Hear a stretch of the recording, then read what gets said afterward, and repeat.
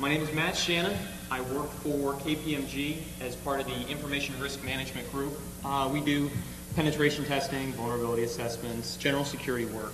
Um, what I'm going to talk about today is Microsoft Front Page, and I'm going to talk about a couple. Of, I'm going to cover a couple of different topic areas. It's a pretty heavily deployed tool that's not very well known. Uh, I'm going to cover the protocol, uh, the back-end systems. I'm going to cover a simple brute force authentication uh, scanning program I put together. And I'm going to talk about uh, what to do when you gain front page access. I'm going to talk about uh, ASP. I'm going to talk about some of the powerful ASP components and tools you can use to gain further access. And then I'm going to wrap it up with uh, how to secure front page. All of you have friends, relatives, girlfriends, clients, others that insist on running front page. This is how you take the extra steps to prevent the people that attended this conference from doing anything to them. Uh, and just to get us all on the same page, uh, before we begin, we're going to talk about a lot of tools and techniques in here. We all know you've got to use these on machines that you have permission to use them on. So get your written permission ahead of time. Let's get started. Laying the groundwork. Front page. Microsoft Front Page, what is it? God, if I, you have to ask that question, you've been under a rock for the last 10 years. Uh, it's Microsoft's integrated website development tool. It's a system for adding basic to advanced functionality with little or no web page experience. In addition, it's a integrated Microsoft Office package, and in my personal opinion, a security nightmare. It was built by Vermeer Technologies in early 1995. Vermeer was one of those dot-com uh, explosive firms that, that created Front Page to capture the web boom. After following an enormous success, they were bought out by Microsoft in 1996. Uh, the original programming staff still works for Microsoft, although the management's moved on to new endeavors. As a aside, all DLLs, all functions within front page start with the underscore VTI underscore Vermeer Technologies Incorporated. Decoding the system. We're going to talk a little bit about the HTTP protocol and what's going on behind the scenes when you access and administer a front page site. It's client-server communication, very basic. Um, front page client talks to the front page server extensions over HTTP put requests. The front page client typically makes requests against author, admin, shtml.exe, as well as the VTI RPC commands. We're going to talk about the different uh, DLLs. The admin DLL is typically used for authoring commands, uploading uh, content, downloading content, uh, reviewing properties, setting permissions. The uh, author DLL is used, like I said, for uploading and adding content. The VTI RPC and SHTML are typically used for initial, uh, starting your initial session or beginning access. All right there's a lot put on that slide, so I'm going to try to I'm going to try to break it down for you, uh, but you can go back and read it at your leisure. The the authentication system is kind of interesting. authenticates you every single time you do anything. When you first make a connection, it authenticates. When you scan the directory, it authenticates. When you pull up a file, when you upload or download a file, it authenticates. What it essentially does, the first half of the authentication is let's determine if this actually is a front page enabled server. So the first request is a client request for underscore VTI underscore INF.html. Basically, this gives us information on server version. In other words, is this client compatible with this version? It gives me locations for the admin, the author, EXEs, or DLLs, whatever case that may be.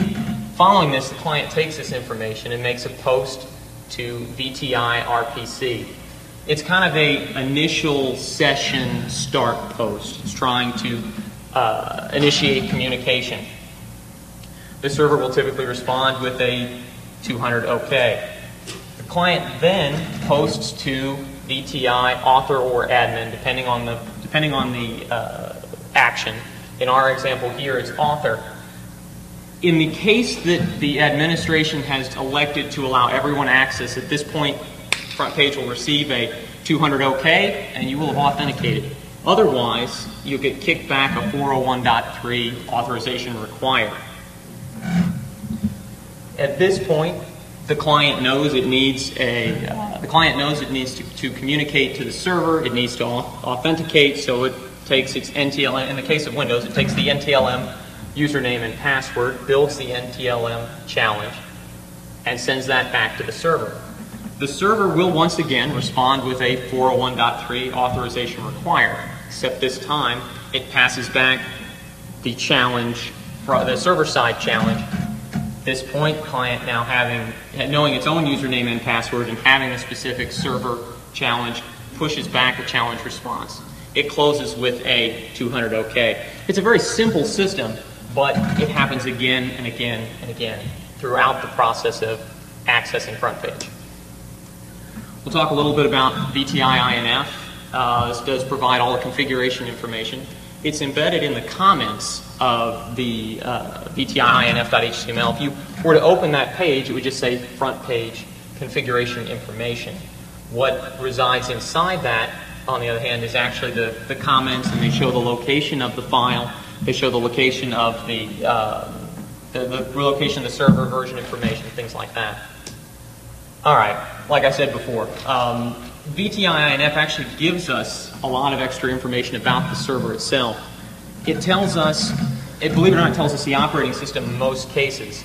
The .dlls and .exes can help us determine that. Uh, anytime the VTI-INF contains author or admin.exe, nine out of ten times you're dealing with an Apache or a Unix box. Uh, DLLs are, of course, come on the Windows side. More importantly, the version information can help us narrow down the OS version. Uh, this is this is important uh, for other attacks. I put together a version information table. I've got the. Uh, I was not able to obtain a Windows ME uh, personal server uh, version information. The I apologize, the formatting got uh, munged. Windows NT, typically it is a 4.x version, pretty easy to remember. Windows 2000 and Windows XP both fall under a 5x version, although it's mo most often than not a much lower subversion number for 2K. It's a 5.1 or a 5.2 versus a 5.6 or 5.8 on uh, XP. I didn't create the name, that's Vermeer. But Vermeer created, they, they call their packets that they pass back and forth Vermeer RPC packets. Uh, Vermeer RPC packets resemble web services.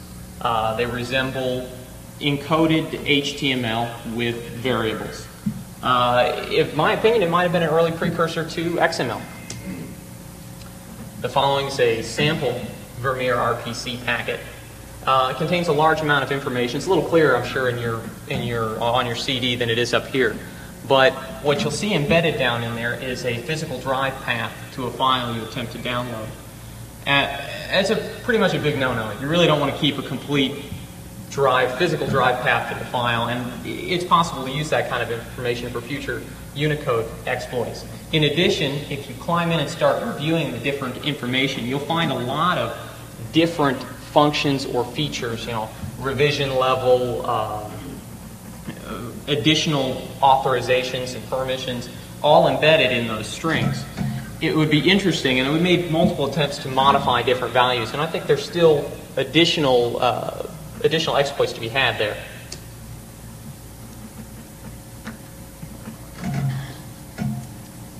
Let's talk about the uh, the back end for a minute.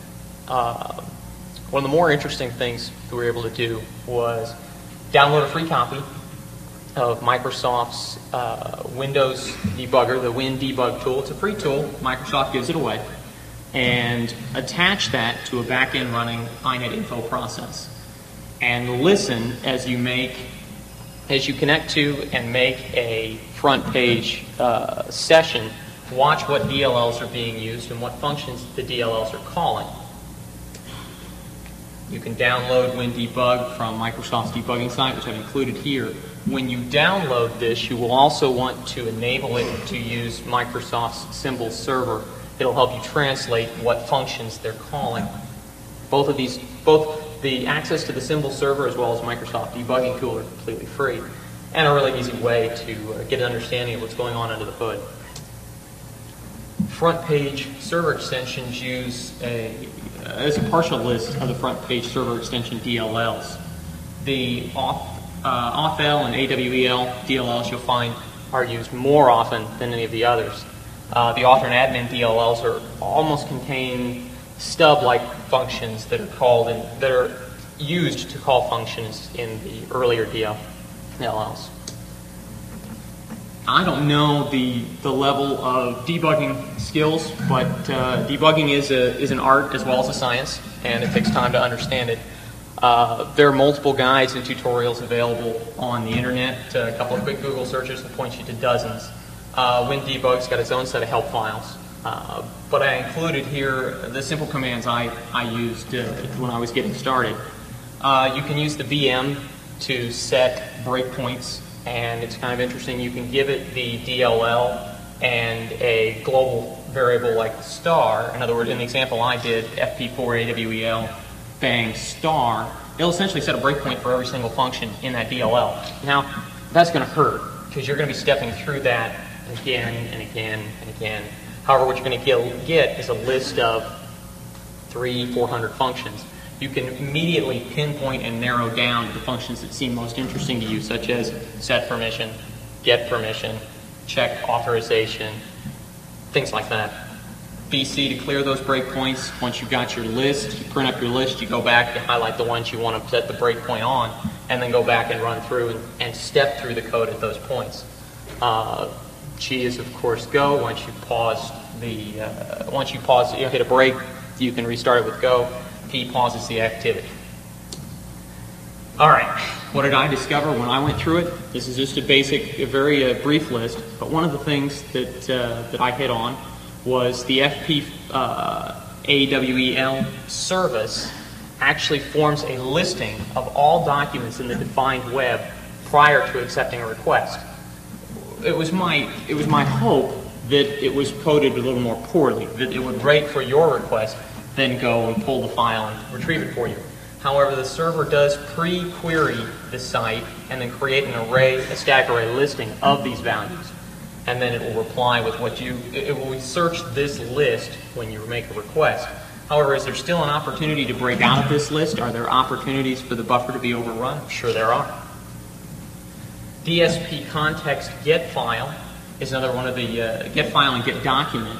They're called when downloading uh, from front page. Set your breakpoints to these and you can step through and figure out exactly where that array is getting called and whether or not there are opportunities for buffer overruns. NTDLL is used exclusively in the authorization process, and we all know that there were attack vectors on that. Microsoft came out and said they will not patch for NT4. Do those same attack vectors apply via front page? Entirely possible. Okay. Taking some of this background information I learned about front page through, uh, through my job, I went ahead and put together automated tools to grind through accounts, to grind through passwords, to grind through client uh, front page enabled servers. FP Exploiter was what came out of it. It's a, it's a really, it's a simple tool. It's a front page uh, password grinding and vulnerability scanner built as both command line and uh, Perl GTK. In other words, now that you have a better understanding of how front page works, let's find out about finding vulnerable targets.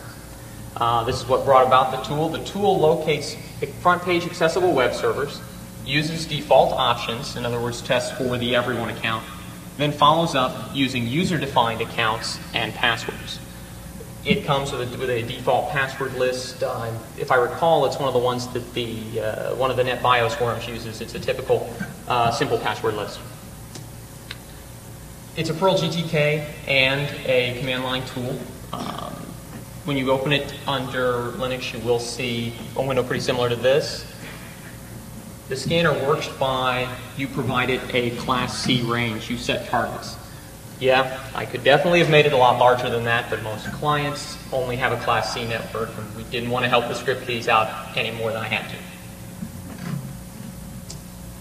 You can also set the password list. uh, like I said before, the password list is, is created initially with a roughly 25 or 30 standard uh, administrator passwords, very simple things, password 123, admin, root.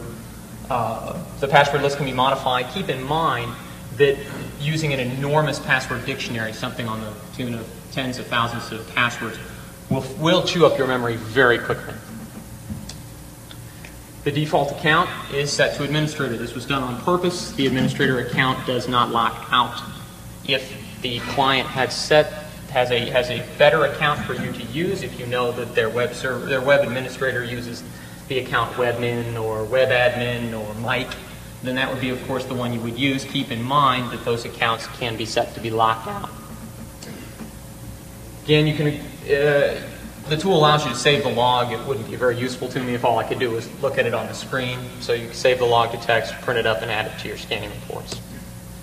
Screen capture during operation. They're more interesting ones on the, uh, on the website.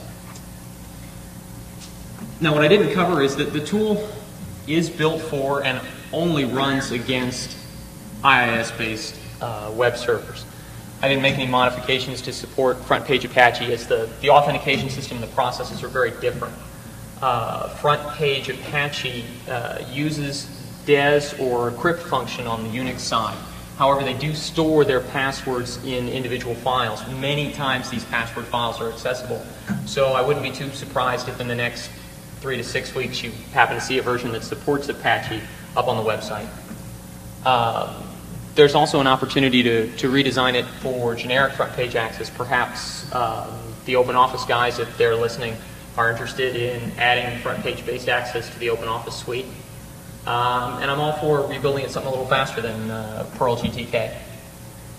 Support for uploading content is very close. Uh, there's a few Unicode based uh, characters that Microsoft puts in, but once all of that's been cleared up, I don't see, uh, I don't see it taking very long. All the code is available at the uh, website. It's on your DEF CON CD, but I recommend you go to the website uh, tomorrow the code will be unlocked once I've got access to a console. Um, I rec recommend you go and download that if you plan on using it. That's where the latest uh, code will be. So let's say you've gained access to front page and you're looking at the next steps. In other words, where, uh, where do you go from here? The little session we're going to call ASP for Hackers. Uh, active server pages have been around for quite a while. Um, and as you, if you ever take the time uh, or have taken the time to develop any web-based content, ASP is much like PHP. It gives you a lot of options. It gives you a lot of uh, areas you can exploit. You can build some rather impressive administration and control systems straight from a web page. One of the first tools I'm going to talk about is uh, a tool I discovered out on ASP Alliance. Uh, Michael Brinkley uh, developed it. Real, real nice guy. His uh, tool set's rather uh, extensive. The SQL Server, it's a SQL Server database uh, tool. If you've ever administered or accessed SQL servers, you've gone at them using Query Analyzer. Most of us folks are command line driven types, and Query Analyzer allows you to go in and execute all of the administrative queries you would want to do, adding accounts, removing users, uh, analyzing the data. What SQL Ultimate allows you to do is it allows you to run a query analyzer session directly out of your web browser. Um, once you've used your front page exploiter to find a vulnerable server, you've logged in and uploaded uh, SQL Ultimate, you'll find you're able to access, administer, and control internal SQL Server databases, as most administrators do place the SA account embedded in the ASP code already on their site. SQL Analyzer to give you some some suggestions, some uh, some interesting things to try. Adding SQL users is very simple. Uh, most of the time, you are part of the SA role. Accessing corporate data, accessing the back end to web applications can also be very powerful. Uh, you can execute extended stored procedures as well as locate application accounts and passwords. Here's a screen capture uh, of SQL Ultimate. You'll see the query window on the left and the uh, resulting window on the right. Uh, go ahead, go over to uh, aspalliance.com and check out uh, check out the stuff that was put together by uh, by Michael. He's really done a lot of great uh, a lot of great work. He was very amenable to me putting it up here. like I said, there's the link for the ASP Alliance site. Let's talk about uh, command line ASP. This is an old one. It's been out for quite a while, but there are still some some folks that don't know about it. Um, I'm going to butcher this this poor guy's name uh, or girl's name. Uh, Maseo is what I'm going to try. Uh, this tool allows for the execution of simple commands uh, on the command line. It's just that basic. Some of the interest, more interesting things you can do with it: uh, netstat minus a, netstat minus n, create your own makeshift uh, reverse DNS lookup. Do a netstat minus A, get the names, do a netstat minus N, get the numbers, match the ports, and you've got kind of a makeshift uh, reverse DNS. You can do an IP config, you can do a ver, you can do a set users, you can net users, net local group. Remember that your the account permissions that you have typically on a site are when you when you've cracked a site or something like local system However, if you built your own front page site and you set that site to require authentication, you, the account you log in with is the account you execute these as. Front Page Exploiter helps us find vulnerable web servers. Command ASP.ASP contains custom code to execute simple console commands. Now, like I said before, you can use a netstat minus A or a netstat minus AN to make a makeshift reverse DNS. You can use net local group and net view to understand drive mappings and groups. Uh, it's very, it's a very, uh, very powerful option. In fact, many clients in the past have had their web server mapped to multiple internal file servers to make retrieving documents on the website much easier, uh, as well as using ping and uh, to find additional servers. Here's a screen capture of the command ASP tool in action. Uh, it's a very simple. Punch in the command and hit go, and you'll have the results passed back to you in HTML. The code is not available at my site, of course. It's available at secureteam.com. ASP code uh, can be used in conjunction with uh, with WinSock controls to provide scanning from the web server. What I'm what I'm talking about here is there are a lot of other options. I've I've just mentioned two. There's a lot of other things you can use uh, ASP code for. You can upload controls. Microsoft, as well as a lot of other companies, have developed web-based controls to do any manner of things, and one of which would be a WinSock control, perhaps programmatically scan the internal network. Uh, there's been some really fascinating work being done uh, with ASP.NET for uh, Samba shares and remote administration. Uh, you can use that tool to reach out and do the same sorts of uh, right-click administer sort of uh, activities you would do on the internal network. In addition, you can use the ASP code and an XML HTTP control to proxy surf the intranet. This was uh, a previous client. This was beneficial as the client had mounted uh, web-based cameras in their intranet to provide security monitoring for their employees. So it was very interesting to be able to watch their employees go about their daily business. We're going to close a little early today, I think. I don't want to. I don't want to get the attorneys mad at me. Um, we're going to talk about holding down the fort. Uh, how do you secure uh, front page? You use simple, simple best practices. As in most systems, your first, last, and primary line of defense is your password. Front page really is no different. You want to choose strong passwords consisting of upper and lowercase characters, numbers, special characters. Let's make it something a little more difficult than dog, cat, password, girlfriend's name. I prefer you stick with passwords over eight characters in length, and we can go into a lengthy discussion about, well, it only uses the first seven, and then, you know, if you have a 14 character password, it's really like two. And uh, that being said, passwords eight characters in length. Typically, they're easy enough to remember. You've got you have to remember your own phone number, and that's seven characters in length. So what's one more? Change the admin account. Contrary to popular belief, Microsoft actually encourages you to change the administrator, the name of the administrator account. It will not break all uh, functions. It won't cause the machine to explode. Um, choose meaningful, choose a meaningful admin account, but avoid typical choices like root, admin, supervisor, boss. Concept of least privilege.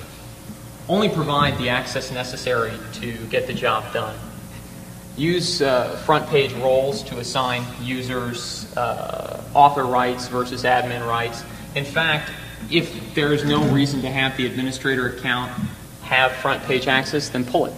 Within front page, there is a the front page has its own set of permissions. Use the front page permissions tool to add or remove accounts as needed. Pull the administrator account, or reserve it for or reserve the front page administration rights for specific accounts. Your best option, and this is my personal favorite, is remind your employees, significant other, girlfriend, family members, that you don't use front page from just anywhere. You use it when you are in your corporate office environment, VPN, um, secure area. By that, I recommend using uh, the IP-based restrictions that are native to IIS. Go and take the admin, author, and VTIRPC files and set those to only be allowed uh, access from internal IP addresses only. Uh, consider segmenting your web developers onto a separate segment of your network and allowing that group access to those DLLs only. All right. There's the site. I don't have a lot of artistic talent, unlike uh, some of the other folks here. So um, it's pretty plain, but it contains the code and the commentary and the uh, all of the tools packaged both in typical tar gzips or RPMs. Uh, I want to thank uh, some of the guys who came before me. There's a bunch of uh, front page hacking texts out there on the internet. Some of them are more, uh, some of them are more pertinent than others at this point, but I've included a link to one of them there. The guys over at the Perl GTK tutorial. It's been a long time since I've done anything with GTK, and it was good to get up to speed. And uh, Microsoft's put together a pretty big site devoted entirely to um, front page. It tends to tends to rotate and move around, so you got to pay attention to where it is. But they've got a lot of the back-end processes mapped. They talk a lot about uh, some of the VTI information that gets passed back and forth. We'll close with the uh, thanks. Of course, uh, my lovely wife, uh, my boss. Uh, it's a shameless attempt to get a raise. Um, the graphics designer who, who did the image, uh, Mike DeAndrea, uh, he's a uh, resident Blender head, does a lot of this kind of stuff. I could never have come up with anything like that. Steve uh, Bickle, who did the uh, technical review, and the guys over at the uh, GTK tutorial put up with my emails. All right, if you got any questions, otherwise, um, I, do want to see the pool that the best question does happen to get one of these cellular PC cards. They won't let me keep it, so I have to give it out to someone with a informative and entertaining question. Yep. Um, you said the uh, authentication system, Mhm. the Apache version of FrontPage and the IIS version of FrontPage are different. Don't they just use basic and NTLM? Like, I don't think FrontPage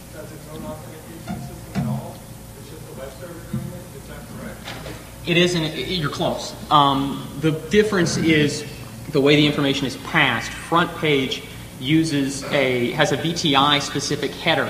It doesn't use the typical NTLM header. So when you go to a website and log in with, you know, say you've got a Microsoft and IIS site, and the site has uh, authentication required, the author, the authorization string is passed back and forth as just an NTLM authorization.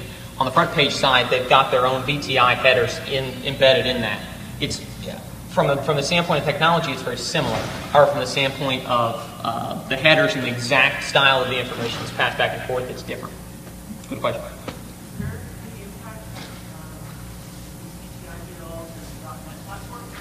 You know, I, I wish I could answer that. Um, I haven't had a lot of exposure to the .NET platform. I know that they kept that front page is used uh, on both XP and the 2003 server. I know the DLLs have not changed; they're all the same. The tool really hasn't changed a lot in the last five or six years, and with 32,000 of them deployed on last Google search, it's remarkable that it hasn't been more um, more followed than it has. Yeah.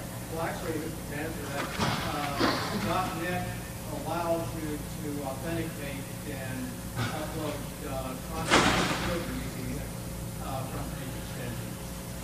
Well, then most likely whatever the same, the same rules would apply. There's likely a huge security hole in that. So out of the box, uh, how you want to test these front page extensions enabled from the internet, outside of providing good passwords for authentication in there, is there any link, uh, vulnerabilities to front page extensions, like they have the directory list enabled or CNF files in there? or- Well, the, the biggest uh, vulnerability is a good question. The question was, what's the, uh, what are the, what's the real problem besides passwords and access with the front page, if I think I've got that right. Um, the real problem is it's typically not configured. It's typically deployed right out of the box, and the first person to request access for it, someone goes in and sets it to access to everyone. And immediately, within within a few weeks, that's forgotten, and the site exists. It's what's interesting is it's not more heavily scanned for. It's not more heavily detected. Uh, the IIS scanners, I think, will tell you if there's a front page enabled site, but they won't go any further than that. They won't tell you if it's got a weak password or missing an account or the everyone account is configured. Yeah. Add to that, uh, probably the biggest problem is uh, if you don't configure it and have secure passwords, someone can use front page as a client and modify the whole site. Yeah, and, and, and honestly, the, the guys I wouldn't worry as much about, in a professional opinion, the guys I wouldn't worry as much about are the guys that go in and modify your site. I, you know, if someone goes and modifies my main page, I'm probably going to figure that out pretty, pretty quickly when my wife, significant other, family member calls and, and asks me what the heck this is. But the guys I'm worried more about are the ones that slip uh, copies of some of these ASP tools deep down in my site, rename them to make them sound like there's something that should be on my site, and it takes me weeks or a well-configured uh, tripwire-like configuration to even find them. Um, that's where the that's where the real power is. That's where the real uh, the real risk is. Yeah.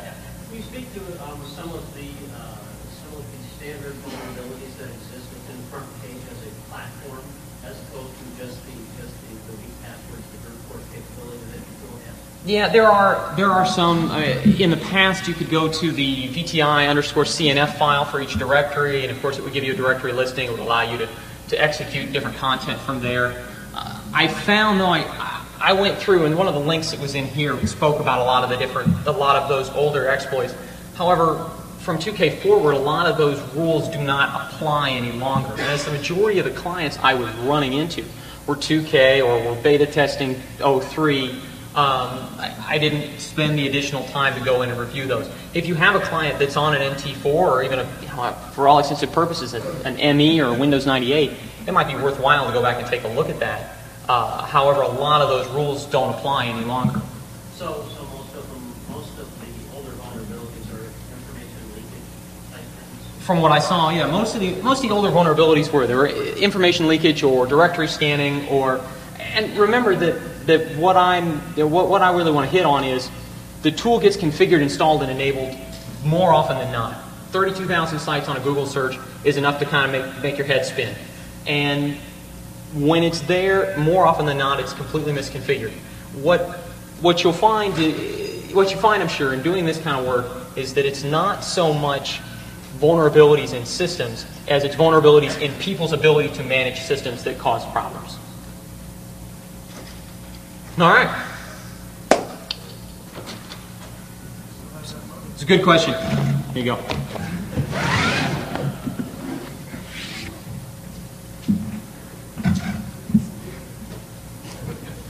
Yeah, go out and enjoy Vegas, all right?